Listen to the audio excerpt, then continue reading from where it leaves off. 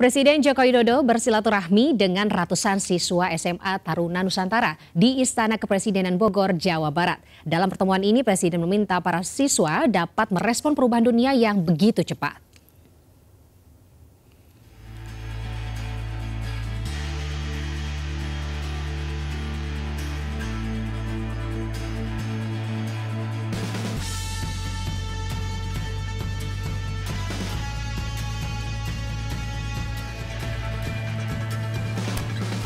Pada zaman ini media sosial yang masuk hampir ke seluruh negara tidak bisa dibendung dan tidak bisa dipagari sehingga terjadi disrupsi teknologi.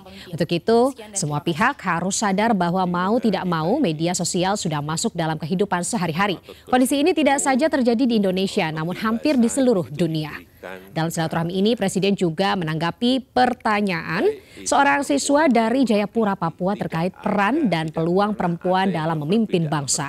Presiden menjelaskan kaum perempuan di Indonesia dipandang dalam posisi yang sama dengan kaum laki-laki, sehingga memiliki kewajiban dan hak yang sama pula.